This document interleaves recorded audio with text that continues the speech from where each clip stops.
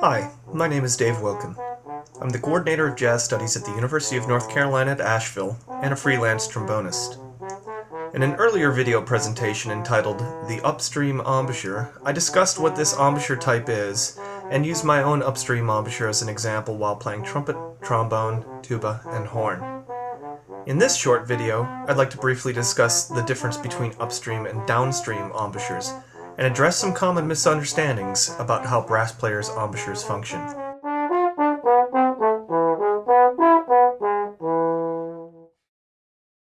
Philip Farkas was a world-renowned horn player and a highly regarded teacher who had an interest in how brass players' embouchures function.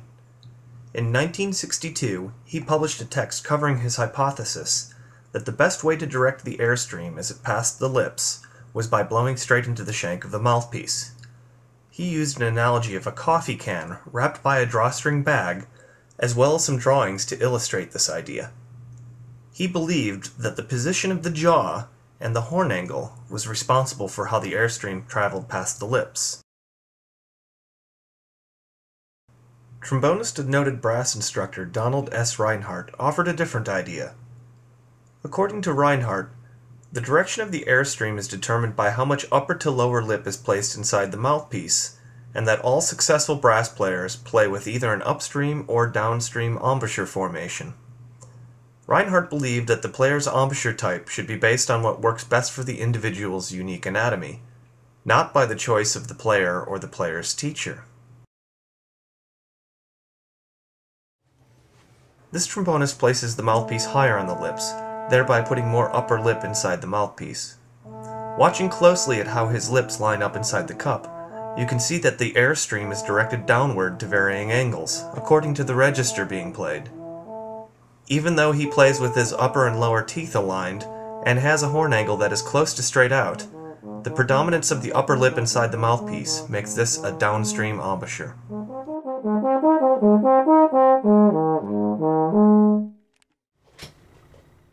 My own embouchure has a lot more lower lip inside the mouthpiece, due to the very low placement. Looking closely at the position of my lips shows that the airstream is being directed upwards at varying angles, also according to the register being played. Even though I play with my jaw receded and the horn tilted down slightly, the airstream definitely is directed upward.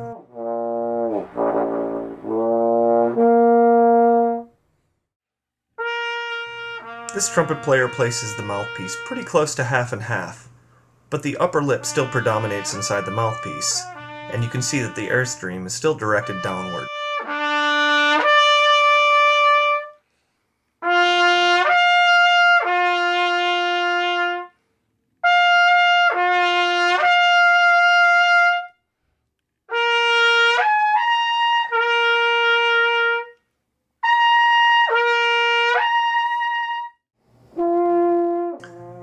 Exact angle that the airstream is directed depends on the register being played.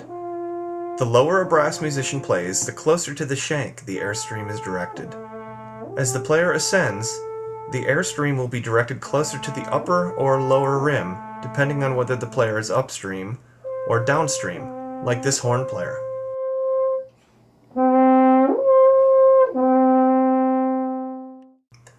In 1970, Eight years after he completed The Art of Brass Playing, Philip Farkas published a book of photographs that contradicted his earlier hypothesis that the airstream should travel straight into the shank of the mouthpiece.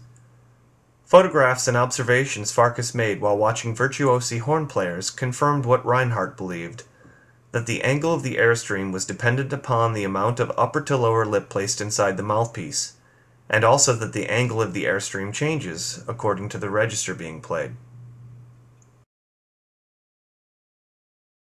It is possible to play successfully without ever knowing about your airstream direction, but being informed about how brass embouchures actually function can help teachers and students eliminate playing weaknesses and even avoid future problems.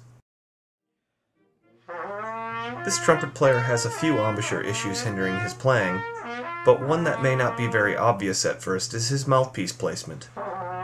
His placement is very close to half and half, and it is difficult to tell whether he is playing as a downstream or upstream player.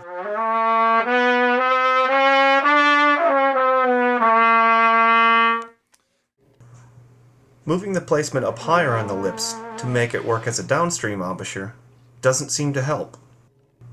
Moving his placement lower on lips, however, making his embouchure function as an upstream one is more successful.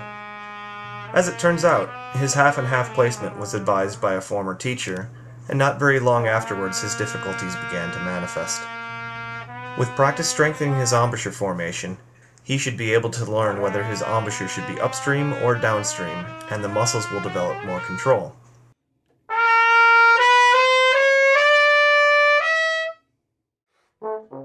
I hope that you find this video interesting and helpful. It is very important to understand that the embouchure type should be based on the player's physical characteristics and is not a choice that can be made. A better understanding of how a brass embouchure functions and what situations cause dysfunction in the embouchure will never hinder a player's or teacher's abilities, provided that all analysis and corrections are done in the teaching studio and practice room. When performing, a brass musician's attention should be placed on being a good musical communicator.